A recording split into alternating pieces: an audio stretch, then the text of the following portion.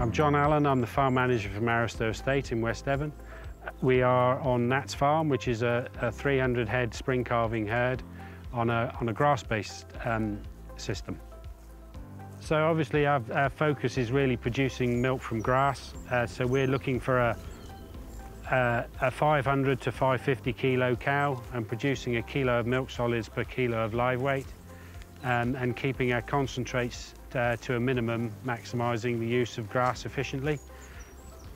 So in the breeding side, we're looking for a cow very good on her legs and feet with a, with a strong udder for longevity. Uh, they'll have to walk on this farm up to a kilometre and a half. So uh, good locomotion is, is, really important to us. Um, good udder attachment um, for keeping udders clean and hy hygienic for milking. Um, and we want exceptional fertility with these cows, uh, which is where, where we can score with the, with the crossbred genetics, uh, getting that gain in fertility from heterosis. Yeah, one of the things uh, we've been looking at is, is improving our, our genetic base on the herd. Now it's established and um, we're trying to, at the moment, we're achieving about 80% uh, milk solids uh, to live weight. So there's, there's a bit of a challenge for us now to, to take that forward um, through more selective breeding. We're weighing our cows and uh, looking at those cows at the, the, the far end of the bell curve, the ones that give us the real return, the, the best, the top 20% performers, and really focusing on those to, to breed our future generation. Uh, so on the, on the first round of our grazing, uh, we're looking to complete the um, roughly about about 60% of our grazing by the middle of March to set up the pastures for the remainder of the grazing season, getting those at the optimum quality. The, uh, the calving pattern for the herd, um, obviously on a spring calving system, is, is, is essential to us, and the tighter we can get it, the better. What we're aiming for is, is a 10-week block, and what we have at the moment is a 12, but ideally, looking forward, we'd, we'd be looking to have a 10-week calving block yeah, we're looking for a submission rate um, before we start serving of, of uh, over 90%, both on the cows and definitely on the heifers. We want 80% uh, of the cows in calf um, within the first six weeks of the block, which we're achieving with these cows. And um, we're looking probably an empty rate of around 5%. In, in terms of the uh, breeding, we're, we're, we are breeding for fertility. We want to breed the right type of cow uh, that can um, survive and, and, adapt on our system being grass-based. Uh, when there is ample grass, they need to be able to survive and get back in calf uh, purely on, on, the grass-based, if that is on the grass-based system, if that's required. and, and, that's, that's a real flexible part of our system eh, with these genetics and these types of cows.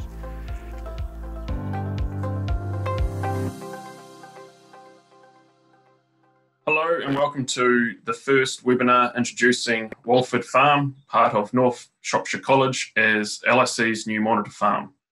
These webinars are to replace Open Day that we had to cancel. Um, and as this is the first webinar we've ever done, uh, I do apologise for any glitches that we may encounter tonight, and uh, please bear with us. To give you a bit of a background on the monitor farm process, uh, we meet with the farm on a monthly basis, and all the uh, reports that we uh, do with them are then posted on the Facebook page. Uh, we hold two open days every year uh, to allow everyone following along the ability to come onto farm and have a feel of what changes and progress is happening on farm. As part of this, we look to get feedback as well as goals from the participants. Uh, so you'll receive an email after tonight's webinar and uh, subsequent webinars uh, where you can put down goals that you think will be relevant to the farm and follow along see if we achieve them. Um, so yeah, please do put for your, forward your goals as we'll be using these to push ourselves and the farm towards coming into an autumn block, uh, autumn block farm. I'll now start off by introducing uh, myself and I'll pass around the other panel members. I am Sean Chubb, a pasture profit consultant for LIC, working within the Midlands and Wales. Um, I'm the one who will be working with Walford Farm uh, through the monitor farm process. Um, so yeah, I'll now pass you on to Mark to introduce himself. Yeah, thanks, Sean. So yeah, I'm Mark Ryder, the General Manager for LIC in Europe. Uh, just firstly, just like thank Tom and the team at Walford College for uh, joining with us on this three-year journey and opening themselves up to scrutiny from outside um, as we join them on the journey. So monitor farms for LIC a very important part of our business. We do a lot of one-on-one consultancy with farmers as they transition from one system to the other. Uh, but with the monitor farm, we're able to demonstrate to a wider group of farmers, you know, how you get from A to B and the likely challenges you're going to strike along the way. Uh, so you actually get a roadmap. So uh, very valuable to us. We see ourselves as leaders in the in the grass-based system. Um, so this is an opportunity for us to demonstrate some of that leadership across the industry. Um, so yeah, please enjoy. Uh, as Sean said, it's a webinar for the first time for us. So um, yeah, a bit of learning at both ends on this one. So thanks for those that have joined us, and yeah, really hope you get something out of it, and hope to see you along the journey along the way. Thank you. Emia. I'm uh, Brown. I'm Farm Solution Manager uh, for, with LIC. I cover uh, Mid and West Wales and the Shropshire and the borders. Um, been with the company seven years. Uh, my role really is working with Tom on the breeding over the next few years, um, looking to uh, move it, as Sean said, to an autumn block. And the priority for the first few years is going to be fertility. Now I'll move you on to Tom, who's the farm manager. Hi there, um, I'm Tomo. Um, yeah, let's say welcome to everybody. Um, a little bit about myself. Um, I've been involved in uh, grazing units for the last nine years, um, but this is probably going to be my biggest challenge today. Um, converting an all year round calving herd to a tight autumn block herd. I came to Walford in November, uh, December 2019 um, sorry, 2018, um, and I just took on the challenge of um, managing the farm in July, um, and uh, it was clear, you know, we had a lot of things to change um, to get this herd to where we want it to be. Yeah, we you know we've struggled with fertility. We're struggling with um, milk yield off our typical Holstein herd. Um, yeah, with just some cost of production. So a change to our new system hopefully will hopefully change the issues that we've had on the farm so far. Um, I think I'll pass to Sarah now from uh, LIC. Yes, hi, I'm Sarah, um, and I'm going to be the moderator uh, tonight. So I'm going to be questioning Tom and the rest of the team um, about the process and, and how the farm is going along at the moment. So, first of all, Tom, let's talk about the farm itself. Um, I think it would be useful if you could tell us the size of the farm, the sort of acreage that you've got, and what crops you're growing at the moment. So we're we're 143 hectares. Um, we will roughly grow around 50 acres of maize a year, um, but this year we've um, put on the burner because we've got enough maize in the clamp. Um, but we're looking to put um, some stubble turnips in for our wintering and some red clover in to boost our, our quality of our forages. Um, so yeah. Um, I think we missed there. Sorry, Tom, we missed the Sorry. of the farm. We're looking at a map now of the farm, but um, it went a bit distorted. We missed the the total acreage of the farm? So the total acreage is 143 hectares, um, but there's a 63 hectare grazing platform, which you can see on the map there. Right. And can you just talk us through what the red lines indicate? Um, the red lines are cow tracks, the new infrastructure that we put in um, since October, um, all sand based, um, all quarried off the farm, um, done in house. Um, took us about three weeks to do it. Uh, some long days, but very worth it. Uh, very beneficial to the cows, as we've already seen. Um, and in terms of perhaps you can talk, we talked about the milking platform and the infrastructure. I think there have been some quite big changes to the infrastructure. We're looking at the dairy parlour at the moment. Perhaps you'd like to talk us through that. Uh, well, th- this is our uh, current parlour. Uh, was installed, I think, in 2015. Um, it's a forward um, 24 24 herringbone. Um, has the capacity to go to go to 15 units a side, um, but it's not something we've we're really looking at. Um, we've got in-parlour feeders on order, so and they're the last of our real infrastructure change, if I'm honest. Um, but that'll be the next big leap for us, I think, as well. Um, and then we haven't talked about the number of cows you've got there. How many cows do you have on the farm? Uh, so we're currently milking around 150 cows at the minute, um, all year round calving. Um, there's um, quite a few followers to come through in the next couple of years as well, though. I mean, we've got about 100, 115 heifers waiting to come into herd in the next two years. Um, so there's plenty of an opportunity to increase the numbers of the herd as well going forward. Where, where, what's the aim with that? Where do you think you'll end up with numbers? 250 is the goal.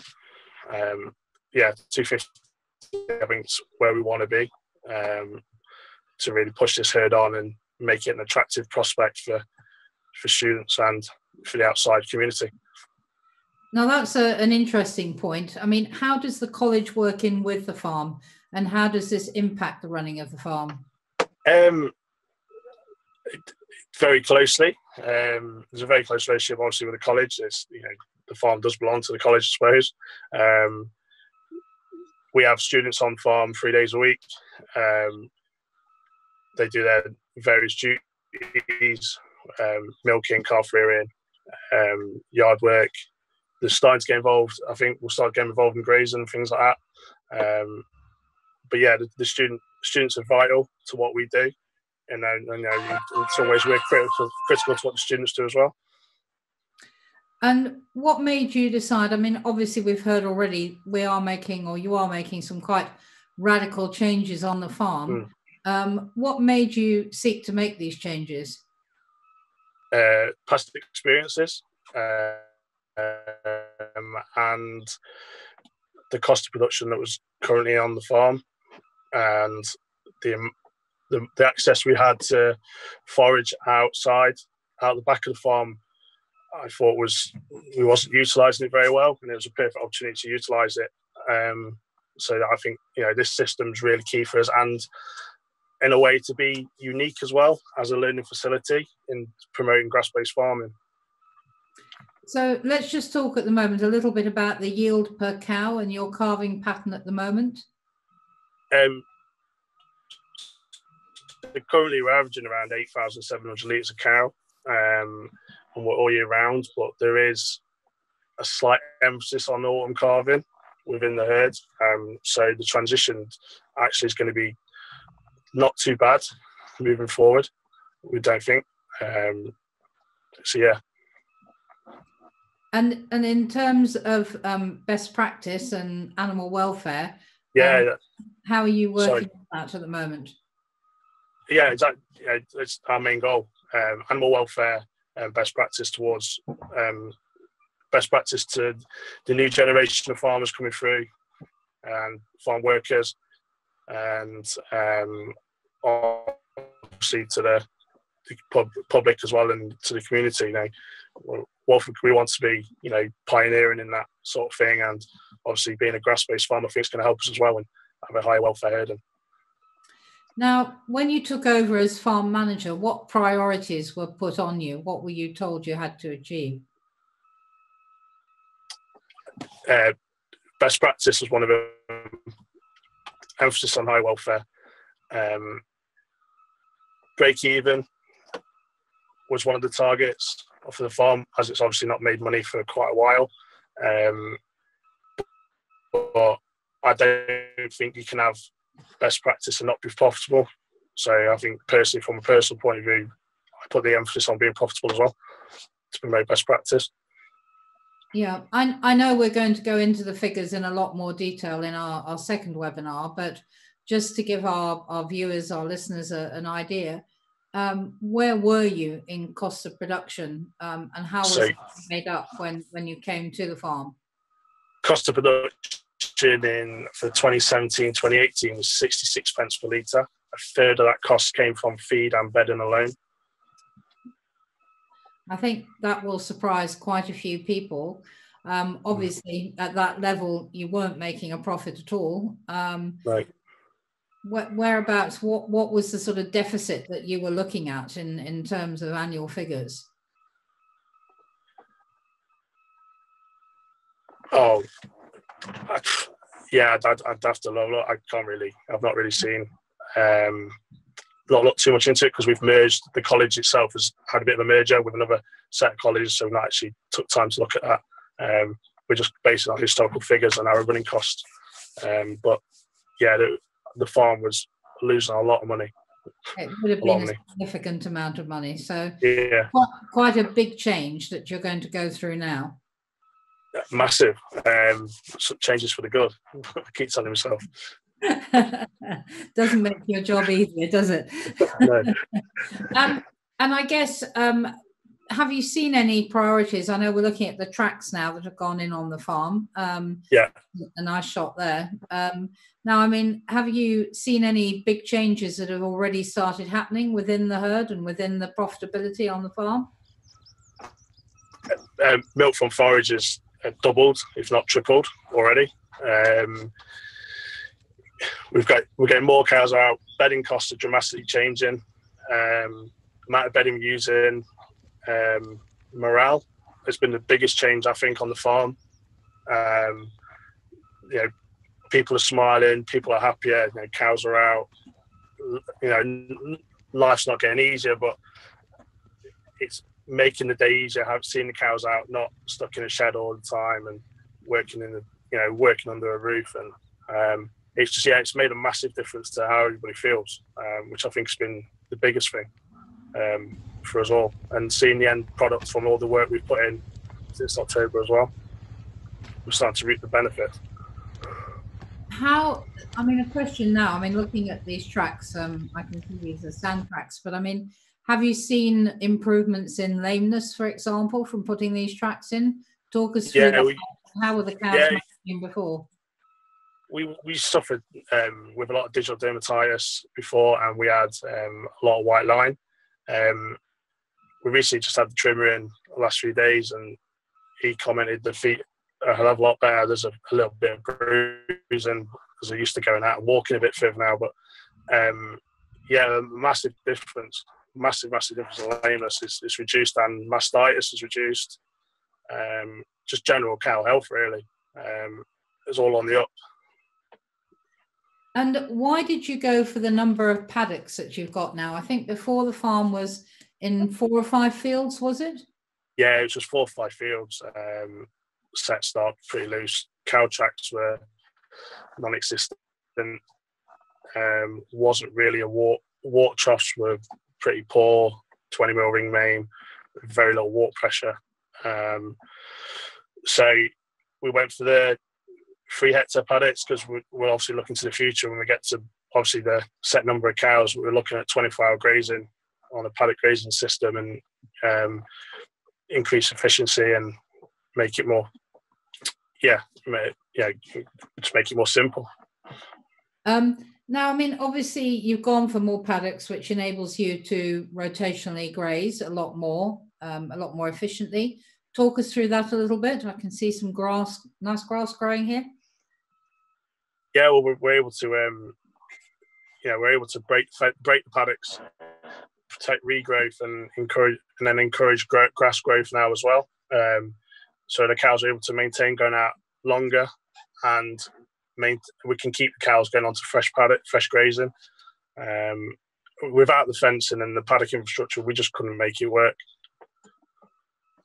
No, I, I can imagine that was quite difficult. And I mean, when did you turn out this year? Have you changed how long the cows are out at grass? Um, well, our low yielding cows went out, I think, on the 21st of January. Um, and they've stayed out pretty much throughout. They're out in the day.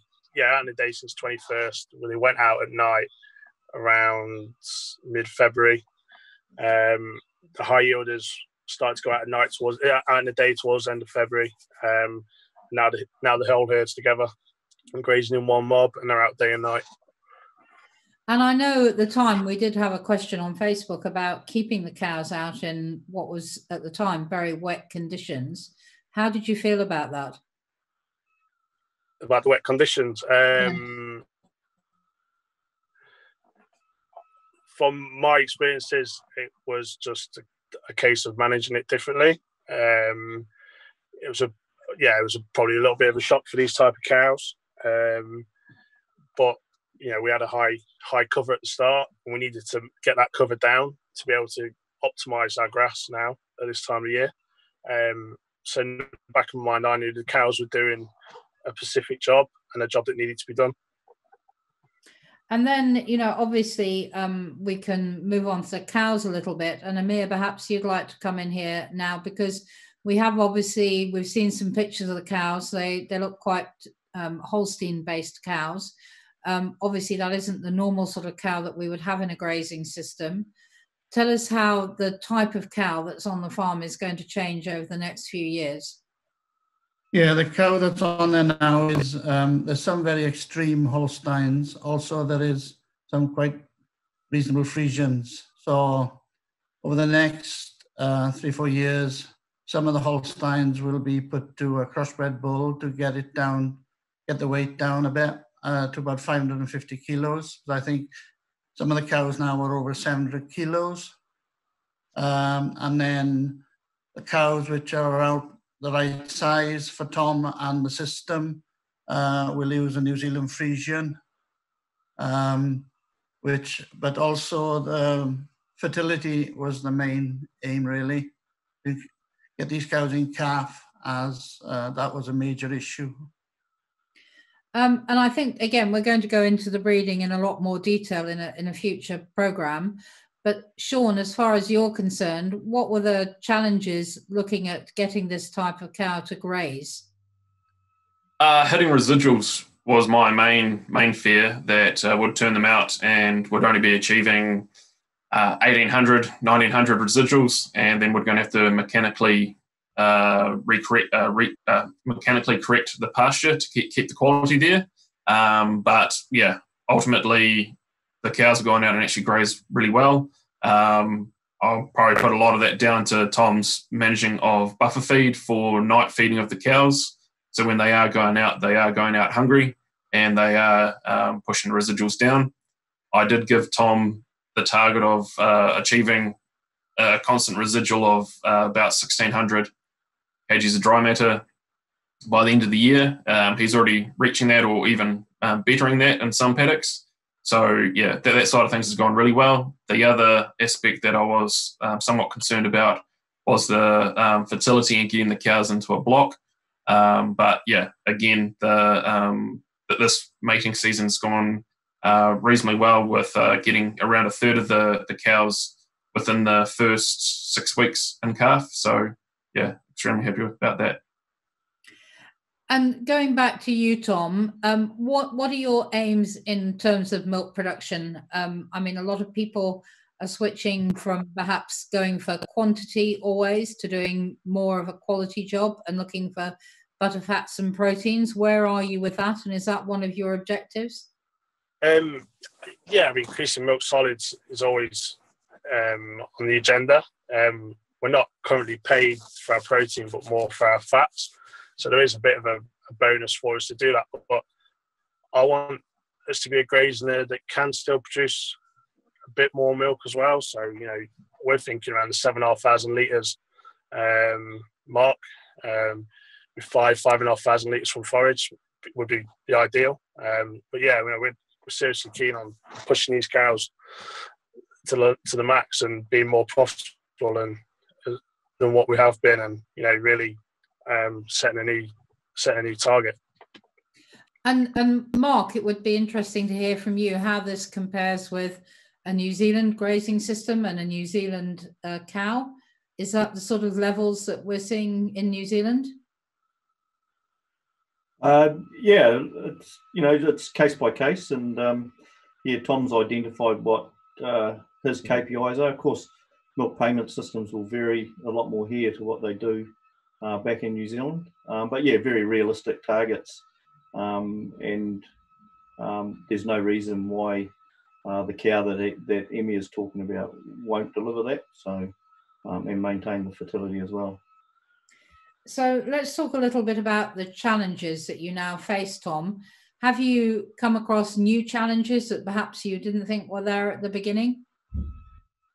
Um, yeah, I mean, images, the image of the the whole job is one of the challenges. Um, changing the perception. Um, this, you know, this farm and the herd alone has probably been a high yielding herd for a very long time, um, and changing that, not the mindset perhaps of you know the people in within the college, but you know the people outside who've been to the college or worked at the college. You know, they'll be, you know, changing their minds in in what this we're going to make this farm become. Um, obviously, welfare and environment are very high being a college farm. We're very much scrutinised being out into the public eye. Um, you know, fertility's always going to be a challenge. Um, you know, we it's one of the biggest, probably one of our biggest costs. This farm's actually been fertility in the past, um, but we think we're getting a hand on it now and getting control of it, and we think we can move forward. Um, but yeah, they're pretty much our challenges I've seen today. And and uh, Sean, you talked about the challenge with with the grazing um, residuals. What are the other challenges that, that you see that Tom's got to come up with answers to in the next 12 months? Uh, so the next 12 months will be uh, the, the, young stock coming through, uh, you know, getting them in calf and then keeping them in the block. So that, that's going to become part of the challenge going forward um, up until we can get some of the um, newer, hopefully more fertile stock coming through to, to actually keep them within the block. Um, and then, uh, yeah, also just managing the, the, cows at grass through the winter time, uh, sorry, the summertime when they go into uh, going to be dry, uh, ensuring that they don't put on too much condition and yeah, that they're in the correct condition to calf down. And Amir, from a breeding point of view, what are the biggest challenges well, you know fertility, I think, is the biggest um, challenge, but um, also to achieve this block. Um, he has done very well at the moment uh, with his, when we started AI in, in November, it's gone well. Um, I think the plan is now to AI some in June and then move them again in another year. But I think, you know, there's a major challenge with fertility here, uh, but we're getting over it quietly. Um, yeah, the figures look better than I expected this year for what we've done so far. Um, Mark, I mean, I, I know from LIC's background, fertility is a key issue in New Zealand. Um, where do you see it fitting into a farm situation like this?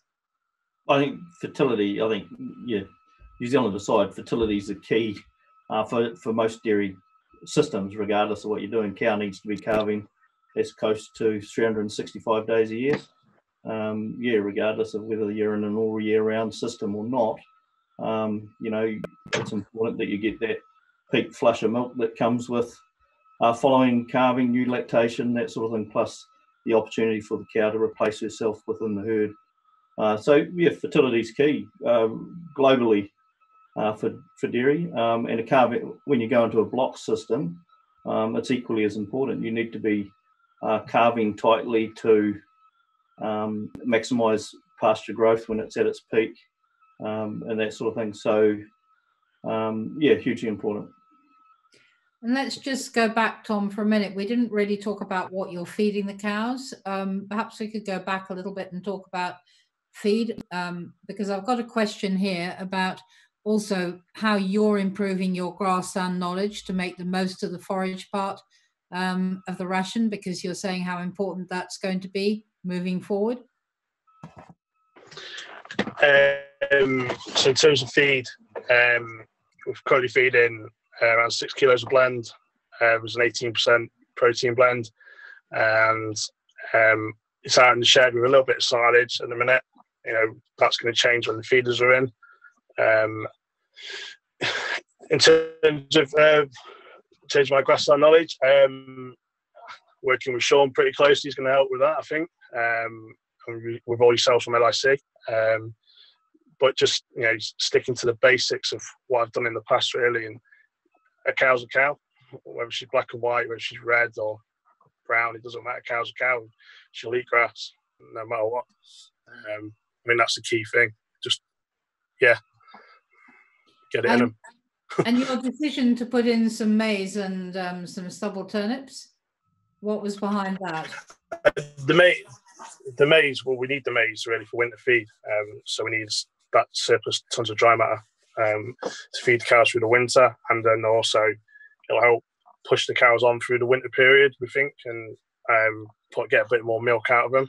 Um, the stubble turnips this year probably a one-off, if I'm honest.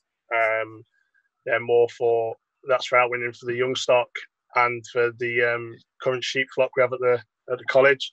Um, and that's just a case of us utilising ground the best we can while we're on the low stocking rate.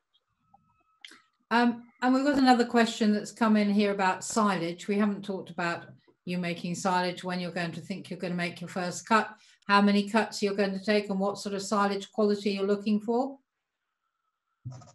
Um, like any farmer, the best quality you can make, but really we want good 12 ME silage, really, um, or close to um, quality over quantity. So I think our first cuts are probably planned from beginning of May. Um, and our second cut will include our red clover. Um, you know, which small cuts, um, preference over quality over quantity, but yeah. Okay, um, and a question for you again, Tom. Um, I'm being asked, what were the key changes that you've implemented to increase your milk from forage so drastically? And what were you able to do to achieve this? The infrastructure was the biggest thing. Um, able to get cows out to paddock, be able to train these cows to eat grass, and be able to, you know, um, able, yeah, just the whole infrastructure and the water, that everything we did um, has just improved that massively. I mean, we're averaging 24 litres in a minute, and we're doing on average 12 litres um, from forage. So, really from the grass and a little bit of silage again in the shed this present moment in time. And just remind everyone where you were before the changes in terms of amount of milk forage. Around the four litre mark was really low. We're feeling a lot of a lot of forage, a lot of concentrate, um, and getting very little getting very little milk back from our foragers. So, Sean, let's talk a little bit more about grass um, and how important grass is, because we're hearing how how important grass is now in in the ration. What yep. advice are you giving Tom to make sure that he can maximise grass growth um, in terms in terms of rotational grazing, managing the grazing? Uh, so at this time of year, heading in towards balanced state, mesh state, or whatever you want to call it, um, uh, I'm, well, the target is to get the average farm cover down around um, 1900 kgs of dry matter per hectare, and that will allow us to fully graze out the farm properly to nice low covers. Um, that will give us quality coming through into the second round. Uh, that will also give us a, a good wedge. We're not going to go into a um, go from a boom to bust sort of situation, or, or bust to boom. Um, if we left the average farm cover high, uh, and then once we come out of um, uh, lift lift up their farm cover, average farm cover from 1900, we're going to settle around um, 2122 average farm cover, and we'll carry that through until the cows dry off. And then probably at that time, um, being a sand-based farm, uh, growth rates will drop off, so we'll be matching growth with demand. And is that going to be managed? Going to have to be managed very carefully? I mean, is Tom going to be out there with a plate meter? How are you going to measure grass growth, and how often should he be doing that? Uh, well, my my expectation is that uh, the paddocks are measured weekly, and yeah, so Tom does have a have a plate meter. He's using AgriNet, so everything's going into AgriNet, and he's using the grass budgets on there to you know help monitor his average farm cover growth, um, the rotation speed, um, all of that. So that, that's our main tool uh, when we're talking about grass. Generally, that that tool's opened in front of us. And Tom, going going back to you, um, how are you finding monitoring grass growth? Is it something you've been doing before, or is this new to you? Um, that is something I'm pretty used to, to be honest. Um, I've done it for the last um, nine years. Um, it's been a it's been a big learning curve in the nine years, but you know you're learning every day. But it's um, yeah, to be honest, it's yeah, it's pretty much bread and butter. If I'm honest, without being sounding too arrogant. Right. Well, I think we've had a very interesting first session. Um, I'd like to go to. Oh, we've just had another question come up. Sorry. Um, when are you? Sorry. Uh, when are you targeting your autumn block and why? Um,